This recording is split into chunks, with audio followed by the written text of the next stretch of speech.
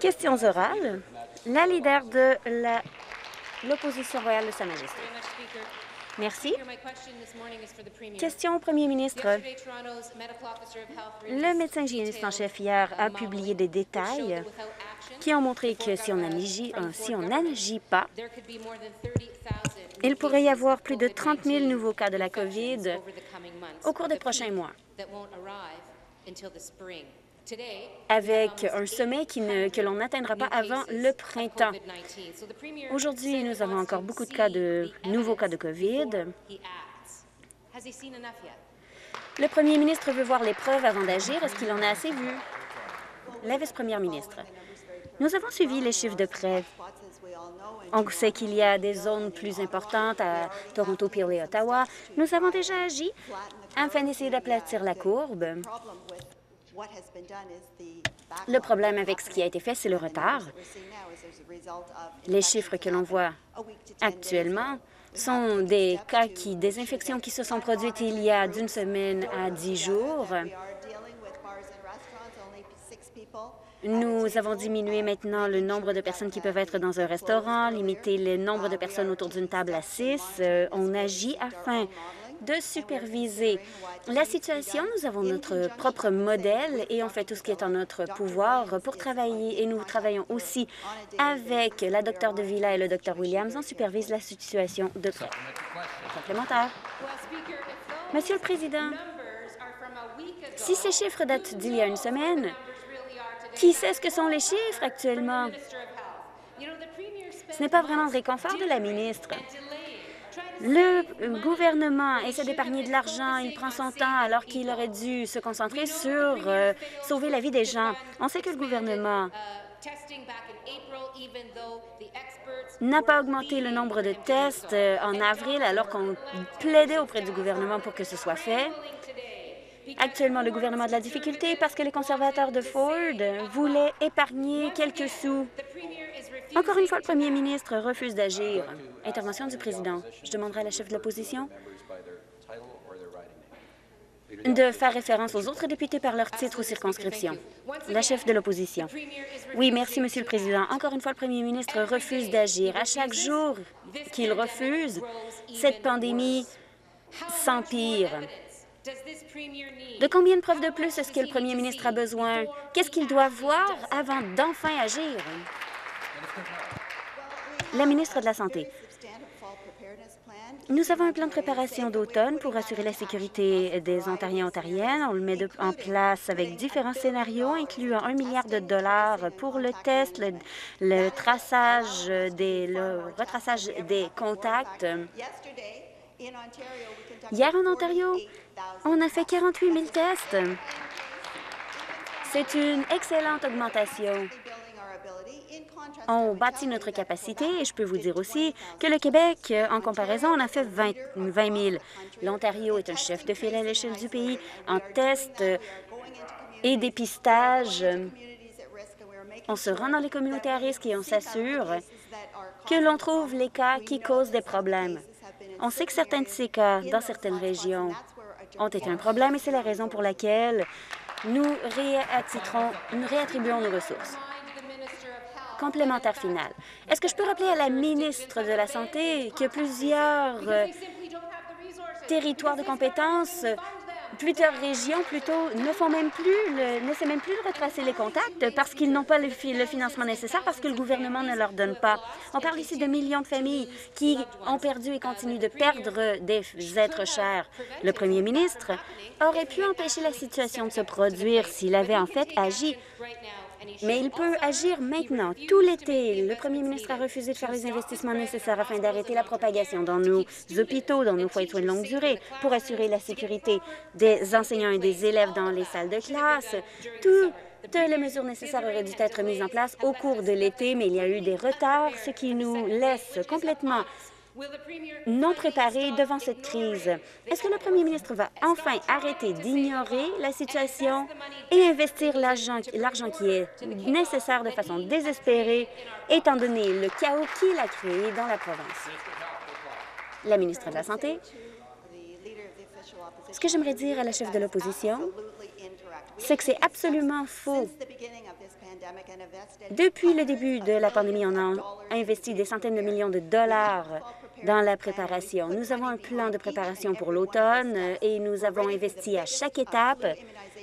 Nous avons la plus grande campagne de vaccination contre la grippe de l'histoire de la province. Nous avons investi 935 millions de dollars dans les hôpitaux, une augmentation la plus importante depuis une décennie, 24 millions pour mettre en place des centres de réactivement et nous avons investi plus de 300 millions de dollars pour faire un rattrapage sur les chirurgies et les retards, entre autres, sur les taux d'eau densitomètres et les résonances magnétiques. Nous allons continuer à faire les investissements nécessaires. Nous avons investi, on répond et on agit. Nouvelle question, chef de l'opposition. Encore une fois au premier ministre, mais j'aimerais que renseigner la ministre que je vais prendre les commentaires des gens de première ligne avant les siens parce que ce sont eux qui n'ont pas peur de parler. Les familles et les résidents de foyers de soins de longue durée nous font des commentaires sur le fait que les compressions qui ont été faites par des décennies, pendant des décennies par les libéraux et qui ont été continuées par les conservateurs ont créé des problèmes et ont permis l'éclosion de COVID. Des compressions qui se sont étalées sur des décennies ont forcé les gens à travailler lorsqu'ils étaient malades et infectés de la COVID. Les personnels ne pouvaient avoir accès à des EPI et les gens restaient au lit pendant des mois. Il y a aussi des gens qui demandent des changements urgents. Quand est-ce que ces changements seront mis en place? La ministre des, Soins de longue durée. Je remercie la députée de sa question. C'en est une très importante. J'aimerais donner uh, plus de renseignements sur le progrès qu'on fait en termes de prévention et contrôle des infections, les partenariats que nous avons mis en place avec le patient des ombudsman, de l'ombudsman des patients. Nous sommes en contact avec l'ombudsman des patients sur le travail, pour le travail qu'il a fait. Uh, C'était du travail qui a été bien ressenti par les résidents, donc j'apprécie le travail de tous euh, sur ce dossier. Certaines recommandations nous avons déjà mis en place. Nous avons l'appui des hôpitaux, comme je l'ai mentionné. Le niveau de personnel est une priorité et notre gouvernement agit. Nous sommes dans une meilleure situation qu'en septembre. On continue de mettre en place des mesures et de recentrer nos efforts. Merci. Complémentaire. La deuxième vague de la COVID est déjà là. Et on en voit les conséquences dans les foyers de soins de longue durée.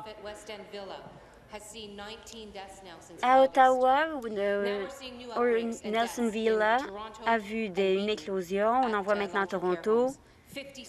50 aînés, la moitié des résidents, c'est-à-dire le, au foyer Fairview, qui est à but lucratif, ont été infectés. On demande un grand changement d'avoir un meilleur niveau de personnel et une protection des dénonciateurs. Pourquoi est-ce que ces mesures ne sont pas déjà en place et quand est-ce qu'elles seront mises en place? La ministre. Merci de mentionner ces problèmes. Ce sont des aspects sur lesquels nous travaillons de façon acharnée. J'aimerais encore mentionner le fait que nous avons besoin d'un meilleur euh, niveau de personnel dans les foyers. Il y a deux foyers à Ottawa où il y a des cas. Et c'est beaucoup mieux en comparaison avec la première vague, que ce soit par le partenariat des hôpitaux, de travailler avec euh, le médecin hygiéniste en chef et de s'assurer qu'on fait tout ce qui est en notre pouvoir fondé sur euh, les renseignements que nous avons. Beaucoup de foyers n'ont pas de, cas chez les résidents et donc nous continuerons à suivre euh, les conseils du, de l'Ombudsman des patients pour appuyer nos foyers. Et nous continuerons de le faire. Merci. Complémentaire final. La ministre parle de l'urgence, mais ce que les gens voient, c'est différent. On voit des retards euh, et euh, des- l'épargne à la grippe sous du gouvernement. Le personnel dans ces foyers nous dit que malgré des mois de promesses, le personnel n'est toujours pas prêt, n'est toujours pas prêt. Et la ministre le sait parce qu'elle a reçu des lettres de personnes qui ont l'expérience de première main du réseau. Il n'y a toujours pas de minimum légiféré en ce qui a trait aux normes de soins auprès des patients. Il n'y a pas de stratégie pour le personnel. Il n'y a pas assez de- d'équipements de protection individuelle. Les travailleurs ne sont pas protégés ici dans la province de l'Ontario. On entre dans la deuxième vague avec moins de ressources, euh, des euh, d'employés qui sont sur le burn-out euh, et des membres de la famille qui sont inquiets. Le premier ministre a dit qu'il ne regarderait pas la dépense pour la protection des aînés en foyer de soins de longue durée. Pourquoi est-ce que le premier ministre n'a pas tenu sa promesse? La ministre des Soins de longue durée. Je remercie la députée de sa question. Malheureusement, ici, on voit une mauvaise représentation des faits. Nous avons des plans Et ce, depuis que mon ministère a été mis en place. behind our plans. Initially, 243 Nous avons investi to 243 stabilize millions de dollars pour aider à stabiliser nos foyers. Nous avons des réglementations modifiées. On a travaillé de façon rapide et active euh, pour s'attaquer à une menace invisible qui est entrée dans nos foyers de soins de longue durée. Nos foyers savent qu'ils ont de 6 à 8 semaines d'équipement de protection individuelle, 540 millions de dollars qui aideront nos foyers avec le niveau de personnel et la prévention et le contrôle des infections.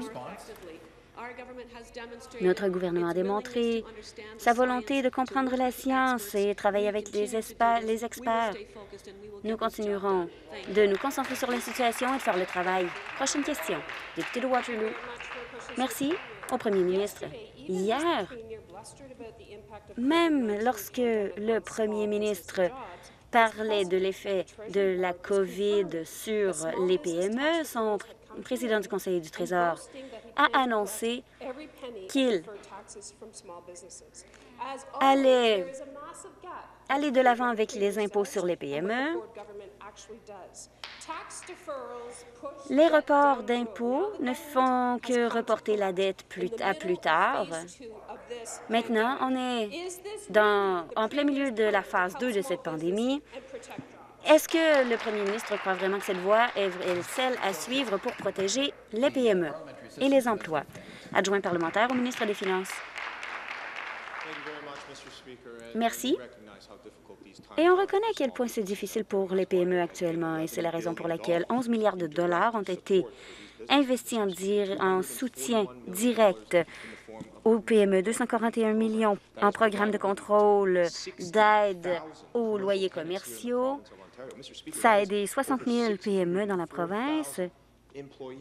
604 000 employés ont été, ont été aidés par ce programme et on comprend qu'il y a encore beaucoup de souffrance et c'est la raison pour laquelle on continue de travailler avec le gouvernement fédéral. Juste ce matin, le ministre des Finances de l'Ontario a communiqué avec la ministre Freeland au fédéral.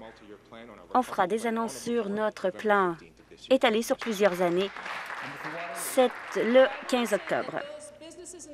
Complémentaire. Les entreprises de l'Ontario aimeraient voir ces 11 milliards de dollars parce qu'ils n'ont pas vu un seul sou. Le premier ministre refuse d'agir euh, avec des mesures qui sont nécessaires pour aider les PME. Les PME ont déjà, déjà des problèmes et les emplois sont déjà perdus. Si on veut passer à travers la, PME, la deuxième vague, il faut fournir un soutien direct aux PME afin qu'elles puissent payer leur loyer. C'est la demande principale. Il faut aussi protéger les emplois. Les demi-mesures et maintenant les reprises d'impôts ne feront que rempirer la situation. Est-ce que le gouvernement arrêtera d'essayer d'épargner certains euh, un dollar ou deux et aidera les PME avant qu'elles disparaissent? Elle mérite un vrai soutien de la province de l'Ontario. Ministre associé délégué aux petites entreprises et à la réduction des formalités administratives. Merci. Notre gouvernement s'est engagé depuis le début pour appuyer les PME. On comprend que les PME font face à des euh, défis, mais nous continuerons à agir avec un soutien direct entre autres avec l'aide au loyer commercial, qui représente un milliard de dollars et qui est en collaboration avec le gouvernement fédéral. Nous avons ici aidé 51 000, 51 000 PME. On a aidé avec une plateforme de commerce en ligne pour, et ça a aidé plusieurs entreprises dans la province. Hier, j'ai eu la possibilité d'annoncer un programme de 60 millions de dollars qui aidera les grandes entreprises, les entreprises plutôt euh, familiales pour protéger leurs employés. Monsieur le Président, on continue d'aider les PME dans la province. Prochaine question, député de Mississauga-Est, Merci. Ma question s'adresse à la ministre des Industries, du patrimoine, du sport, du tourisme et de la culture.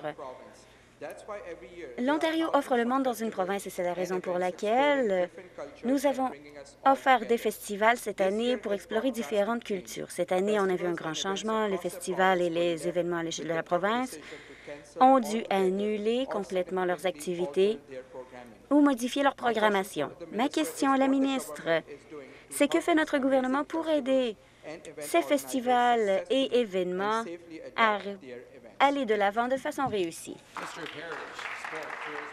La ministre des Industries, du patrimoine, du sport, du tourisme et de la culture.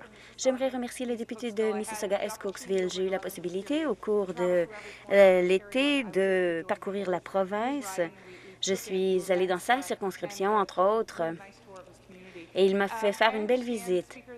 Je comprends, Monsieur le Président, que c'est très difficile pour les Ontariens et Ontariennes de se rassembler de puisque nous sommes actuellement plutôt dans une crise sanitaire, c'est une crise sociale aussi, c'est la raison pour laquelle on a donné 9 millions de dollars pour protéger et maintenir les festivals. J'ai annoncé que le gouvernement de l'Ontario mettra de l'avant un plan pour euh, que les Ontariens et Ontariennes puissent participer à ces événements en ligne et changer l'expérience traditionnelle qu'ils connaissent. Par exemple, l'Halloween, Noël, Hanouka. Ce sera un financement qui sera rétroactif au 12 août et qui permettra aux gens d'avoir cette expérience. Complémentaire.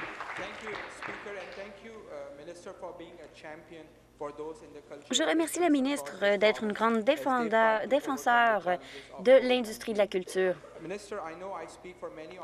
Je sais que je parle pour plusieurs Ontariens et Ontariennes lorsque je dis que nous nous ennuyons de ces événements. Nous avons été en mesure d'appuyer certains événements alors que ces événements s'adaptaient aux nouvelles normes de sécurité sanitaire. Les organisateurs s'assurent de respecter ces exigences tout en essayant de nous lier les uns aux autres. Quel genre d'organisateur peut utiliser le financement de ce programme afin d'avoir un événement sécuritaire et bien réussi? La ministre. Plus tôt ce matin, j'étais avec musictogether.ca et la parade du Père Noël de Toronto pour être en mesure d'avoir accès à ce genre de financement qui aidera les municipalités de la province. Nous, nous, allons ici aider les voisins à se reconnecter les uns aux autres. Il y aura entre, parmi les événements, c'est une cérémonie que nous allons aider. C'est une tournée des citrouilles en ligne, une journée du souvenir euh, en ligne, ainsi que euh, un jour de l'an qui sera virtuel. Je crois qu'on est tous prêts à dire adieu à 2020. Nous allons aider différents programmes et productions. Nous allons aider aussi avec le développement d'un site Web et nous allons le faire afin que l'on puisse se connecter de façon virtuelle au cours de la saison. Député de London West, nouvelle question. Au premier ministre, la pandémie de la COVID a fait la lumière sur le besoin d'avoir accès aux services de garde en Ontario.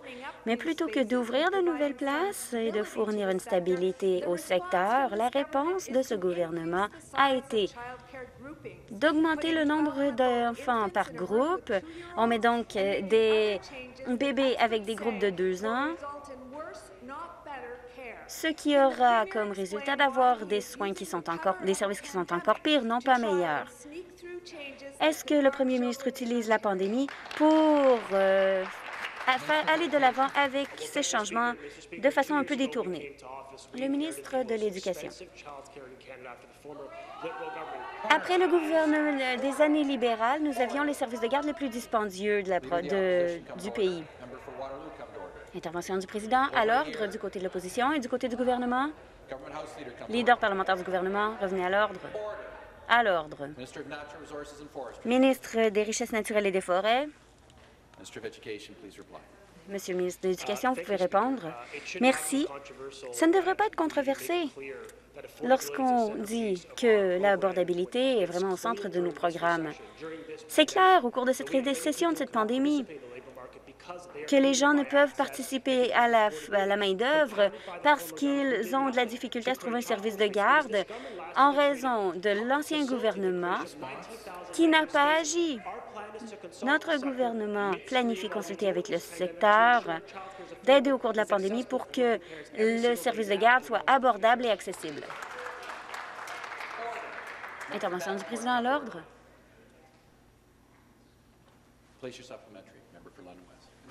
Complémentaire. Monsieur le Président, ce n'est pas seulement que les bébés seront dans des, des groupes avec des, deux, enfants de deux ans, c'est qu'on va aussi augmenter le nombre d'enfants par groupe de 15 à 25. Il y aura moins d'éducateurs de la petite enfance et moins de personnel pour combler ces postes. Ce n'est pas ce que veulent les parents, ce n'est pas ce dont ont besoin les enfants et ce n'est pas ce que les experts disent être la meilleure situation. La COVID-19 a montré, euh, a jeté la lumière sur ce que disent les familles depuis des années. C'est qu'on a besoin de plus de places euh, avec de nouveaux services de garde agréés, non pas une solution qui est diluée. Pourquoi est-ce que le gouvernement n'agit pas alors que les familles sont déjà stressées au maximum? Le ministre de l'Éducation. Ce que le gouvernement veut, ce que plutôt les familles veulent, c'est que le gouvernement rende accessibles les services de garde immédiatement et à l'avenir. Nous le faisons par consultation pour améliorer la qualité des services de garde. On crée des options flexibles pour les parents. On crée une meilleure rétention de la main-d'œuvre. On clarifie les exigences pour les enfants qui ont des besoins spéciaux. On s'assure d'avoir des programmes qui sont appropriés selon la culture des gens. On diminue le fardeau administratif sur, tous ces organismes qui fournissent des services de garde. On travaille de façon acharnée pour s'assurer que les patients, que les parents puissent retourner au travail et qu'ils aient un choix abordable pour les services de garde dans la province. Merci. Prochaine question, député de Guelph. Merci. Au premier ministre, les Ontariens et Ontariennes n'oublieront pas le vidéo qui a été envoyé, qui a été publié au cours de la campagne électorale lorsque le premier ministre a dit qu'il vendrait des euh, lots de la ceinture de verdure à des promoteurs. Il a régressé sur sa décision, mais hier, ce soir plutôt, les conseillers de York demanderont à la province d'ouvrir la ceinture de verdure pour l'aménagement industriel et commercial. Monsieur le Président, chaque fois que ça sort, le premier ministre doit revenir sur ses décisions, s'excuser et reconfirmer son engagement de ne pas rouvrir la ceinture de verdure. Ma question, c'est est-ce que le premier ministre tiendra sa promesse envers la population de la province pour maintenir la protection existante des 2 millions d'acres de la ceinture de verdure, même si cette résolution est adoptée au Conseil ce soir? Le ministre des Affaires municipales et du Logement. Merci. Encore une fois, aux députés, le premier ministre et moi avons été très clairs. Nous avons indiqué encore et encore. Et franchement, lorsqu'on reçoit des résolutions, et comme le, député l'a dit, la résolution n'a pas encore été débattue, nous avons été clairs que la réponse, c'est non. On n'aménagera pas la ceinture de verdure. Les groupes qui travaillent avec vous m'ont posé cette question et j'ai été très clair. Monsieur le Président, encore une fois, par la présidence, je réitère, comme je l'ai fait plusieurs fois, nous protégerons la ceinture de verdure. C'est 200 millions d'acres. Complémentaire. Monsieur le Président, j'apprécie que le ministre reconfirme cet engagement, mais la question, c'est pourquoi est-ce que c'est toujours débattu et qu'on en discute toujours? Il faut que des discussions se produisent à quelque part. C'est quelque chose qui est mené par l'évaluation environnementale pour euh, l'autoroute 403 qui pavera des parties de la ceinture de verdure. Monsieur le Président, c'est la semaine de l'agriculture en Ontario. C'est la semaine où on célèbre les agriculteurs et tout particulièrement leur contribution de 30 milliards de dollars à l'économie et le fait qu'ils nous ont nourris au cours de la pandémie. Ma question au ministre, c'est est-ce que le ministre s'engagera à protéger les agriculteurs? Et les terres agricoles en ne pavant pas ces zones agricoles, que ce soit d'une façon ou d'une autre. Le ministre des Affaires municipales et du Logement. Encore une fois, nous avons été très clairs. J'ai un livre complet de résolutions. Intervention du président. Le député sait très bien qu'il ne peut pas utiliser d'accessoires. Veuillez continuer. Les conseils locaux sont élus de façon démocratique. Ils tiennent des débats comme nous. Je ne peux pas prédire quelle demande me sera envoyée des 444 municipalités de l'Ontario, mais je peux vous dire une chose, et je dis aux députés ici, à chaque élu, conseil, euh, dans toutes les collectivités de l'Ontario, vous pouvez nous envoyer une demande, mais pour la réouverture de la ceinture de verdure, nous avons une petite réponse et c'est non. question, député de Merci, Monsieur le Président. Le 19 août, j'étais avec le premier ministre pour annoncer des euh, investissements en infrastructure, 1,6 million de dollars qui est investi pour reconstruire 2,5 kilomètres de la rue Holland et nous avons investi 10 millions de dollars pour le fonds d'infrastructure avec 1,1 million pour Fort Erie et 2,4 pour Grimsby.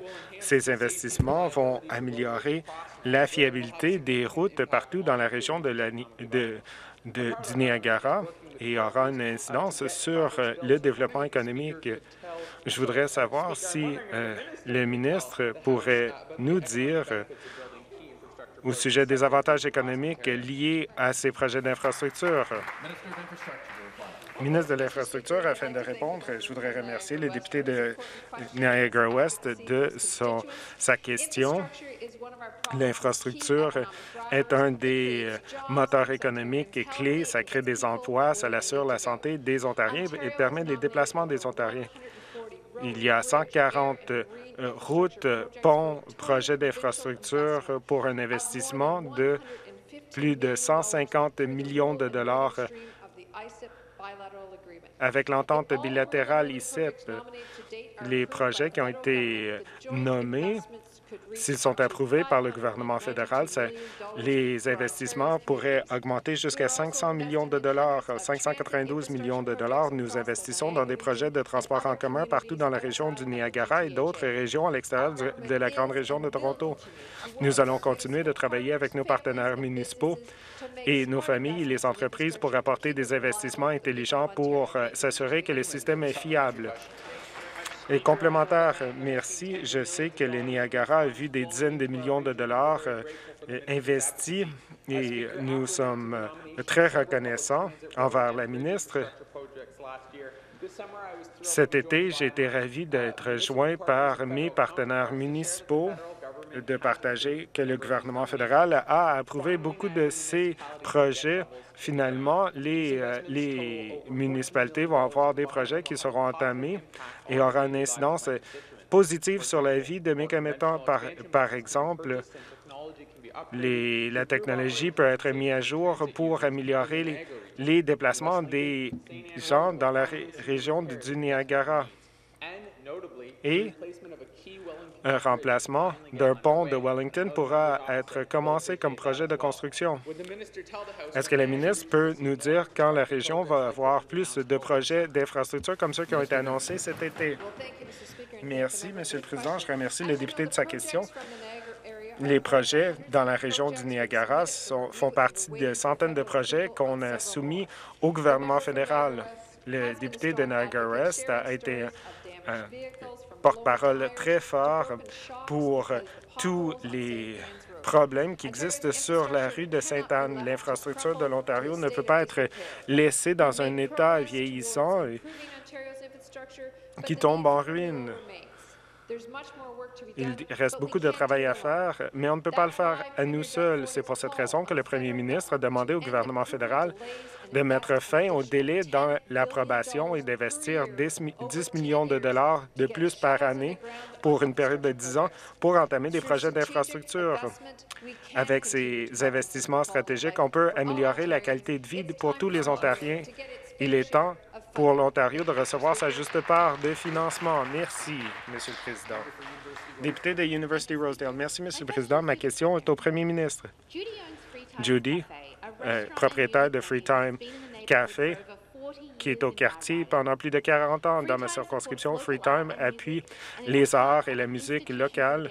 C'est une institution pour le, le centre-ville. Et maintenant, Freetimes est en eau trouble. La subvention de la part du gouvernement fédéral a pris fin et maintenant, elle fait face à la deuxième vague de la COVID-19. Elle ne peut pas euh, payer son loyer, Judy.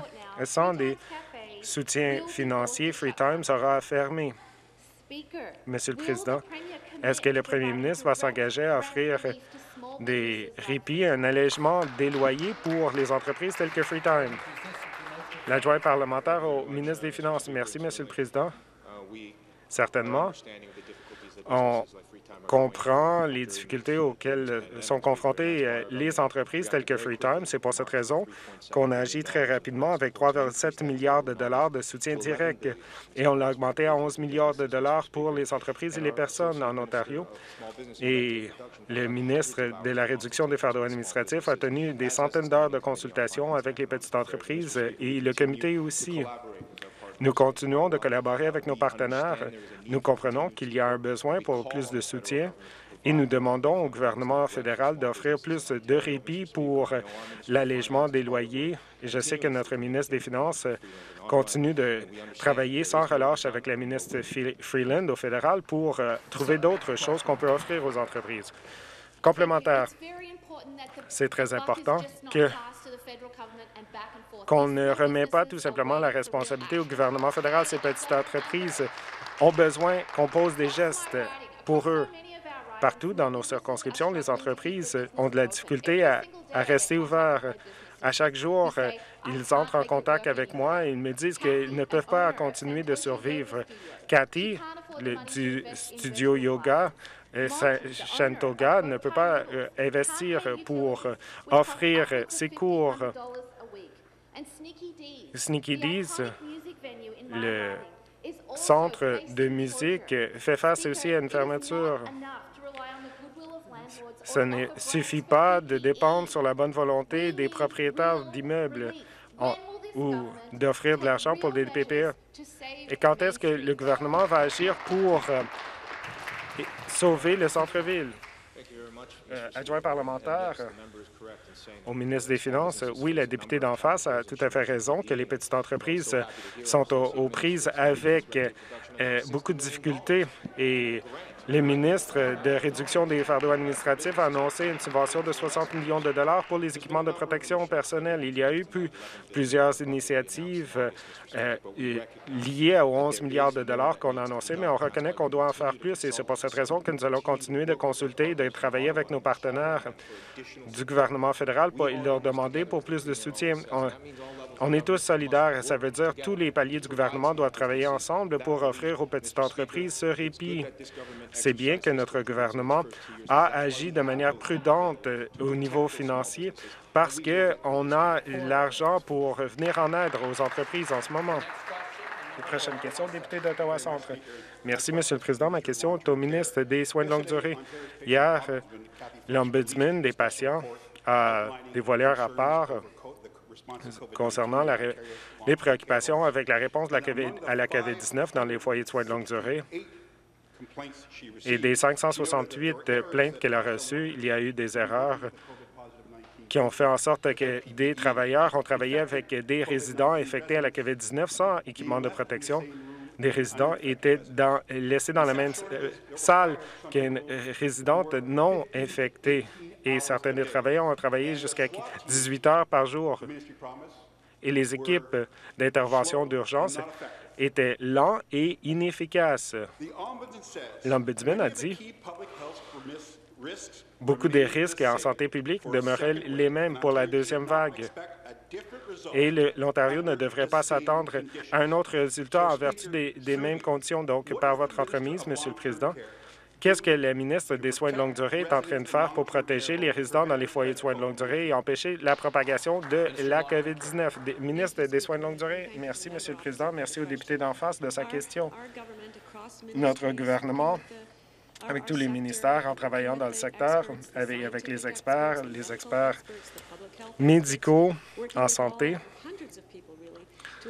en travaillant euh, tous de pair pour euh, euh, trouver des solutions dans les foyers de soins de longue durée, la dotation du personnel, 540 millions de dollars pour prendre en compte la dotation du personnel, de limiter les infections, de prévenir les infections, les équipements de protection aussi.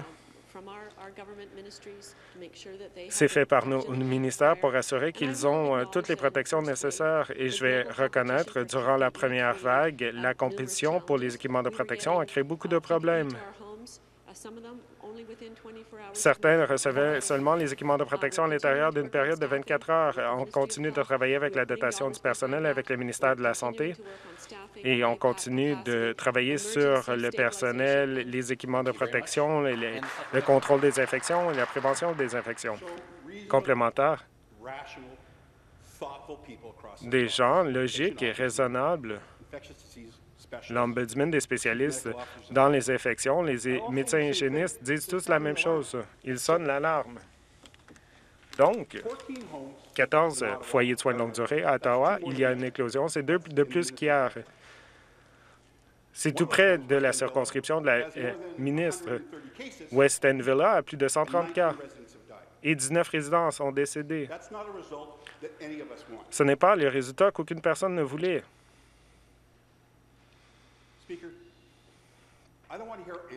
Je ne veux pas avoir des, des réponses avec des zéros en lien avec, parce que ce n'est pas ce qui compte. Ce qui compte, c'est ce qui se passe dans les foyers de soins de longue durée. Et les gens le disent à la ministre. Et je ne sais pas si elle n'écoute pas. Par votre entremise, qu'est-ce que la ministre va faire pour empêcher la propagation de la COVID-19 dans les foyers de soins de longue durée et de protéger les résidents? Ministre des Soins de longue durée. Merci, Monsieur le Président. Merci aux députés de sa question. Notre gouvernement et tous nos ministères et des centaines d'experts travaillent sans relâche pour assurer que nos foyers de soins de longue durée sont soutenus de le, plus de façon possible. Mais je voudrais parler des chiffres parce que j'ai été très clair que seulement deux foyers de soins de longue durée ont des cas des résidents. Et vous avez mentionné que dans plus de 100 cas, et ça reflète tout le personnel qu'on fait des tests de dépistage dessus et que nos mécanismes de surveillance fonctionnent les tests qui sont positifs et les membres du personnel s'auto-isolent. Ça démontre que notre surveillance fonctionne. 98 de nos foyers de soins de longue durée n'ont aucune éclosion. Les deux foyers de soins de longue durée à Ottawa, West End Villa, on en prend bien soin. L'hôpital d'Ottawa est impliqué et je pense à toutes les personnes qui ont été touchées et nous allons faire tout ce qui est nécessaire d'utiliser chaque outil, chaque mesure. Par contre, je suis totalement en désaccord avec ce que le député vient de dire. Député de Burlington. Merci, Monsieur le Président. Ma question est au ministre des services à l'enfance et services communautaires. Durant les derniers mois, nous avons tous eu à s'adapter à la nouvelle réalité. Les Ontariens ont fait des sacrifices et ont tout fait pour euh, aplanir la courbe. Mais de le faire a euh, imposé beaucoup de problèmes sur les gens, qui, surtout ceux qui s'occupent d'enfants avec des besoins spéciaux. Qu'est-ce que notre gouvernement a fait pour venir en aide aux familles qui ont des enfants avec des besoins spéciaux? Ministre des services, à l'enfance et des services sociaux et communautaires, merci à la députée de Burlington de la question ce matin. Nous savons que de, pour les familles, de, de prendre soin des enfants avec des besoins spéciaux, c'est essentiel. C'est pour cette raison qu'on a investi 20 millions de dollars de plus dans les services spéciaux à domicile. Ça va s'assurer que plus de 4 700 familles ont accès à ce qu'ils ont besoin, tels que des programmes de répit et des programmes pour les enfants. Cet investissement continue euh, sur d'autres initiatives avec euh, notre crédit d'impôt de l'année dernière. Ça veut dire que des familles avec des enfants avec un handicap important peuvent recevoir euh, un répit de 8 250 par enfant et c'est une somme très importante pour ces familles. Nous savons qu'ils font face à des moment très difficile à cause de la COVID-19, mais on veut qu'ils sachent que nous, on est là pour euh, leur venir en aide. Complémentaire. Merci, ministre, de tout votre très bon travail, votre passion dans ce ministère.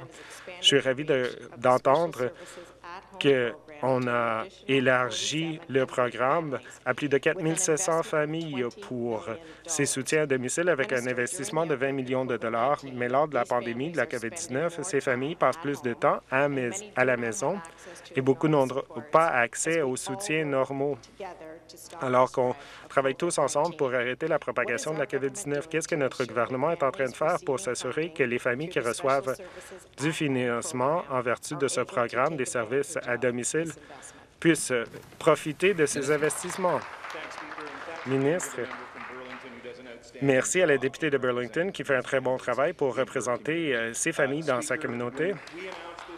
Lorsqu'on a annoncé cet investissement, on savait que les investissements et le financement n'allaient pas euh, suffire. On devait permettre aux familles d'avoir de la souplesse, de dépenser l'argent sur ce qu'ils avaient besoin. C'est pour cette raison qu'on a augmenté les dépenses admissibles pour comprendre des activités, des soutiens qui peuvent être offerts à des personnes dans leur propre maison, parce que beaucoup étaient confinés dans leur propre maison.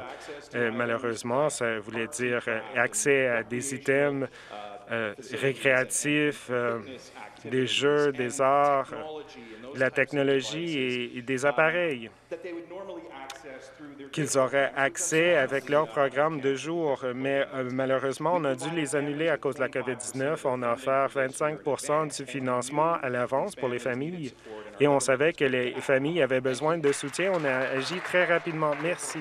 Prochaine question, député de Kitchener-Centre. Merci, Monsieur le Président. Ma question est au premier ministre. Cette semaine, Paul Wyman est entré en contact avec nous et sa femme Ursula est dans un centre de soins de longue durée. Ils ont pu se réunir après des mois de séparation, mais ensuite une deuxième vague a frappé. Paul a placé, a appelé 20 fois pour être testé pour qu'il puisse être avec sa femme mais ensuite, il a appris que tout était réservé pour une semaine. Donc, ma question au premier ministre, est-ce que le premier ministre peut dire à Paul quand il va augmenter les tests de, de dépistage, surtout pour les soignants essentiels, pour que les proches puissent aller voir leurs leurs proches en résidence?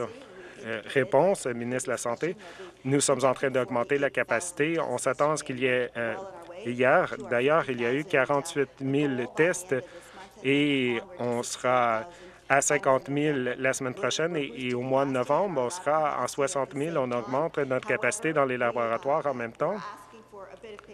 Mais on demande un peu de patience parce qu'on a entamé ce, ce nouveau système de prise de rendez-vous en ligne qui est meilleur et que les gens vont recevoir les résultats plus rapidement. Donc, c'est un meilleur système. Donc, s'il vous plaît, demandez-lui de continuer de faire cette demande et qu'on peut qu'il peut aussi être testé dans une pharmacie s'il veut euh, tenter d'avoir un rendez-vous euh, avec une pharmacie complémentaire. Au premier ministre, Paul n'est pas la seule personne qui euh, soulève cette question. Ken est aussi un soignant essentiel pour sa mère. Et avec tous les arriérés dans les tests, euh, Ken ne peut pas prendre soin de sa mère. Il pense même de conduire deux ou trois heures pour sortir de la région pour avoir accès à un test de dépistage. Mais le premier ministre continue de nous dire que ça fait partie de son plan. Est-ce que le premier ministre peut expliquer pourquoi il n'y a pas de mécanisme en place pour permettre aux travailleurs essentiels et aux soignants essentiels pour avoir une priorité? Comment est-ce qu'il tente de solutionner ce problème? Euh, réponse, nous augmentons la capacité à tous les jours. Nous sommes à 40 000 tests il y a quelques semaines, 48 hier, 48 000. On veut que les soignants essentiels euh, puissent aller dans les foyers de soins de longue durée et prendre soin de leurs euh, proches. Mais alors qu'on augmente la capacité dans les pharmacies, dans d'autres endroits, on veut avoir plus d'endroits qui sont disponibles pour que les gens puissent être testés, mais peut-être d'appeler une pharmacie. Et je présume qu'il est asymptomatique de tenter d'avoir un rendez-vous, c'est la meilleure façon de procéder parce qu'il y a une capacité pour les travailleurs essentiels les soignants essentiels dans un foyer de soins de longue durée. Je pense que c'est la meilleure façon pour lui d'avoir accès à un test de dépistage et pour qu'il puisse aller voir euh, sa mère. Prochaine question, député d'Ottawa-Vanier. Merci, Monsieur le Président. Ma question est au premier ministre. Ottawa a établi un record encore aujourd'hui, 182 nouveaux cas dans la capitale nationale. Le centre de soins Madonna fait face à sa quatrième éclosion de la COVID-19. COVID est entré dans la bulle de protection de Madonna que le premier ministre a dit qu'il euh, avait mis en place et les résidents ont dû se faire tester à six ou sept différentes reprises. Les arriérés dans les tests de de dépistage empêchent certains employés de se présenter au travail et ensuite des agences de placement euh, trouvent des échappatoires pour déplacer un employé d'un endroit à l'autre. Quand est-ce que le gouvernement va réduire et annuler cet échappatoire et de trouver, d'assurer la dotation de, euh, membres du personnel qui est adéquate dans ces foyers de soins de longue durée? Ministre des soins de longue durée, merci au député d'en face de sa question. Premièrement, Madonna, Ottawa, il y a seulement deux foyers de soins de longue durée avec des résidents, avec des cas. Madonna n'en a pas. Et une éclosion peut dire qu'il n'y a aucun cas de la COVID-19, mais que les membres du personnel, avec les, les tests de dépistage de surveillance, euh, on dépiste la maladie et on empêche l'employé d'aller dans le milieu de travail. On est en train de surveiller la situation et je sais que beaucoup de gens se penchent sur la situation. la dotation du personnel est un élément essentiel. Nous l'avons reconnu dès le début. Euh, depuis qu'on a été créé en tant que ministère à part unique, la dotation du personnel a été essentielle. On continue d'investir euh, à cet effet. On continue de travailler sur un plan avec le ministère de la Santé. Complémentaire. Merci, Monsieur le Président. Ma complémentaire est aussi au premier ministre. Il y a eu un autre record, 797 cas partout dans la province. Et les cliniques à chargent 250 pour euh, des tests de dépistage. Les pharmacies se font de l'argent aussi en offrant ces tests de dépistage. Le gouvernement est en train d'envoyer des échantillons de la COVID-19 à des laboratoires à lucratifs en Californie parce qu'ils n'ont pas investi dans, les dans la santé publique ici en Ontario. Comment, pendant combien de temps est-ce que le gouvernement va dépendre sur la santé à deux vitesses, à but lucratif, pour, lors de la pandémie? Euh, leader parlementaire du gouvernement, comme la ministre de la Santé, le premier ministre l'ont mentionné, les tests de dépistage est une priorité pour la province. Nous avons augmenté notre capacité depuis que, depuis la première vague, de passer à 5 000 au, début, comme la ministre l'a mentionné, à 48 000 hier. On a augmenté aussi notre capacité dans les laboratoires. On va dépenser toutes les sommes nécessaires pour s'assurer euh, de protéger euh, la santé et sécurité des Ontariens. C'est pour cette raison que la ministre de la Santé et notre premier ministre ont établi un plan de préparation à l'automne qui fonctionne et qu'on est l'envie du reste du Canada. Prochaine question, député de Sainte-Catherine. Merci, Monsieur le Président. Ma question est au premier ministre. Cette semaine, un parent de ma circonscription euh, m'a dit que sa fille avait 27 élèves en classe qu'on allait augmenter le nombre d'élèves et non pas diminuer. Plus d'élèves euh, se retrouvent en classe parce qu'ils trouvent que les classes virtuelles ne fonctionnent pas. Les parents nous ont dit qu'ils ont de la difficulté de gérer les coûts de rester à la maison et de perdre leurs revenus. C'est clair que ce gouvernement n'a pas offert de choix sécuritaire aux parents. Est-ce que le premier ministre va écouter les preuves et écouter les résidents de la région de, du Niagara, comme DAB, et de s'engager à assurer la sécurité des élèves et de mettre un plafond sur le nombre d'élèves en classe à 15. Ministre de l'Éducation, merci de la question. Bien sûr, nous sommes pleinement engagés à la sécurité des élèves partout dans la province. Euh, au Niagara, il y a eu un financement de 71 millions de dollars pour le COVID-19. Ça a permis l'embauche d'enseignants et des gens dans l'entretien ménager. Et on a mis des plafonds de 23 élèves en classe. Chaque région, pour chaque élève, on va leur offrir les financements les ressources pour assurer leur sécurité. Voilà notre responsabilité, notre obligation pour toutes les régions de la province. Complémentaire, merci, Monsieur le Président. Encore une fois, Premier ministre, il y a 14 écoles au Niagara avec des cas de la COVID-19 jusqu'à maintenant parce que la propagation communautaire continue euh, d'augmenter. Deb et sa famille, elles savent, ils savent que de protéger les, élèves en classe ne peut pas se faire dans les classes à elles seules. La communauté doit avoir toutes les ressources nécessaires. Ça lui a pris sept jours pour avoir un test de dépistage lorsqu'il a demandé d'avoir un test de dépistage. Des familles dans ma circonscription ont sont dans des classes où il y a trop d'élèves et on part de la transmission dans la communauté parce que les centres de dépistage, il y a trop d'arriérés et on doit attendre trop longtemps.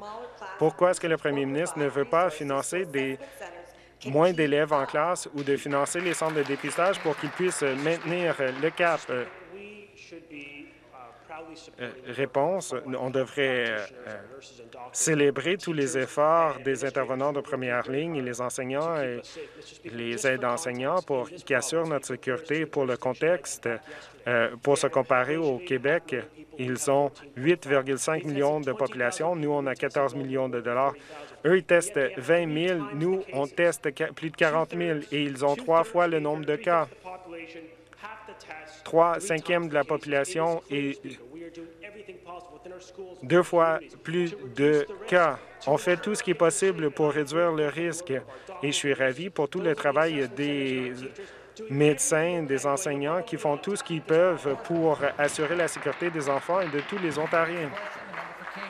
Prochaine question, député de Cambridge. Merci, Monsieur le Président. Bonjour. Ma question est au ministre, à la ministre de la Santé. Le premier ministre a dit qu'il était contre les sites d'injection il s'est euh, a promis de se concentrer sur la réhabilitation, mais après l'élection, qu'est-ce qu'il a fait? Le gouvernement a décidé de financer 21 sites de consommation. Euh, un autre changement de décision, une autre politique que l'ancien gouvernement a mis en œuvre qui a été accueillie par ce gouvernement. À Cambridge, on a demandé qu'il demande de financer un site d'injection dans ma circonscription. Les citoyens étaient contre cette décision. Ma question, est-ce que le gouvernement a l'intention de financer un site d'injection de drogue dans ma circonscription? Euh, ministre de la Santé, je suis ravi qu'on a appuyé ces sites de consommation saine. Et ça permet de sauver des vies et c'est absolument essentiel. Et on a vu des améliorations dans les résultats, mais on doit en faire plus. On n'a pas reçu des demandes de la part de toutes les municipalités qui veulent avoir ces centres de consommation S'ils veulent, on se penche sur cette demande et on, demande aux municipalités de présenter ces demandes. Donc, toute suggestion que c'était une mauvaise décision, je pense que ce serait réfuté et critiqué. Mais les communautés qui les ont, euh, ils le savent sans aucun doute que ça sauve des vies et c'est une bonne décision. Complémentaire, en Alberta, euh, on a vu des premiers répondants sont allés à des appels de surdose, une augmentation de 2,5% Il y a une demande pour le à Cambridge pour des sites de réhabilitation. Les communautés devraient avoir le choix d'avoir des centres qui se concentrent sur la réhabilitation, mais le gouvernement ne permet pas d'avoir ce choix. Ils ont une solution unique, un site d'injection supervisé ou rien du tout. Ma question, est-ce que le gouvernement va offrir aux communautés d'avoir la possibilité de faire une demande pour des centres qui se concentrent seulement sur la réhabilitation sans l'injection supervisée ou est-ce qu'ils vont seulement offrir des financements pour les sites d'injection supervisés et de ne pas offrir de financement pour les sites de réhabilitation. Ministre de la Santé, premièrement, les municipalités peuvent faire des demandes pour ces sites d'injection supervisés et les communautés l'ont fait et on voit de très bons résultats et on a annoncé hier qu'on investit 176 millions de dollars dans des soutiens à la santé mentale qui offrent des soins de réhabilitation. Ça va être ouvert aux municipalités d'en faire une demande. Et euh, nous sommes déjà dans le processus de travailler avec beaucoup de communautés pour le faire. On était au centre des dépendances de la santé mentale qui ouvre un centre pour des personnes qui sont dans des situations de problèmes mentaux sérieuses. Et on offre des sites de réhabilitation avec les sites d'injection supervisés. Vous avez tout à fait raison, la réhabilitation est très importante. Des fois, les sites d'injection peuvent, être, euh, peuvent offrir aussi des sites de réhabilitation en même temps mais on doit s'assurer qu'ils offrent les deux services en même temps et non pas un seul service. Merci. Question suivante, le député de Spadina, Fort York. Merci, Monsieur le Président. Cette province traverse une crise d'itinérance, mais le gouvernement a coupé 161 millions de dollars pour le financement des refuges. Il a gelé le financement du programme de prévention de l'itinérance. Il a mis un terme à un programme pour mettre un terme à l'itinérance il a annulé le, programme de, revenus garantis. Les décisions du gouvernement alimentent cette crise en pleine pandémie. la Ville de Toronto va bâtir 400 000 unités de logement avec soutien et demande l'appui de la province pour concrétiser ce plan. Le gouvernement prendra-t-il l'engagement d'appuyer le plan de la Ville de Toronto pour bâtir des unités de logement abordables? Le ministre des Affaires municipales et du Logement. Merci, Monsieur le Président. Je sais que le député n'est pas porte-parole en matière de finances, car certaines informations financières qu'il a euh, soulevées en Chambre sont tout à fait inexactes. Notre gouvernement a travaillé de près avec la Ville avec les 47 gestionnaires de services, ainsi qu'avec les administrateurs des services aux Autochtones. Il y a quelques jours, le ministre des Services à l'enfance a parlé du fait que très tôt dans la pandémie, notre gouvernement a fourni 200 millions de dollars aux municipalités pour venir en aide aux plus vulnérables.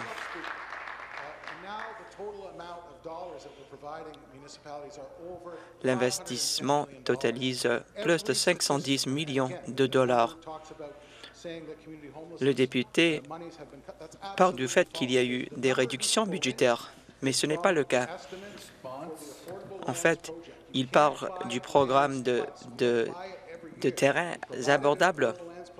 Nous avons fourni ce projet, nous avons euh, bâti plus d'unités et nous sommes passés au, au prochain programme. Question complémentaire.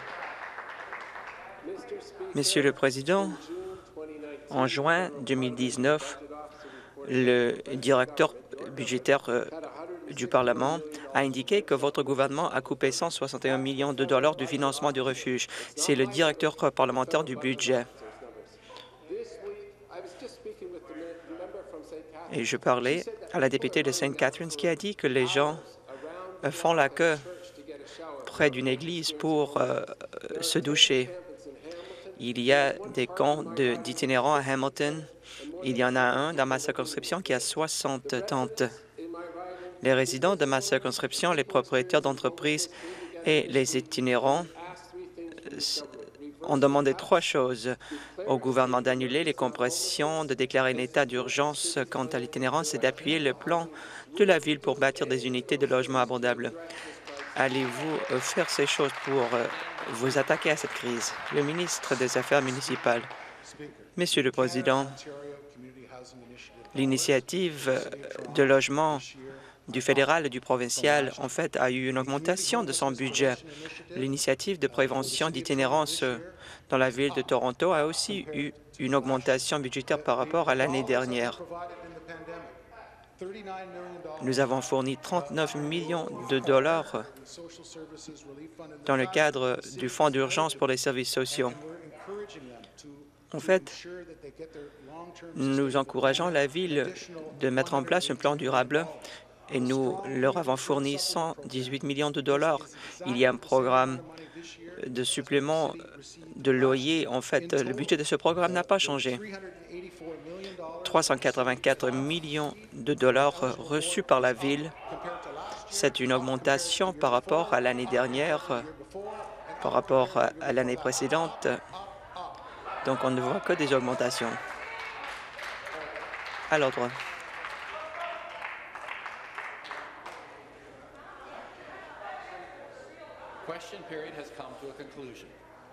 On est rendu donc à la fin de la période des questions. Si j'ai bien compris, la députée de Toronto-Saint Paul euh, euh, souhaite invoquer le règlement.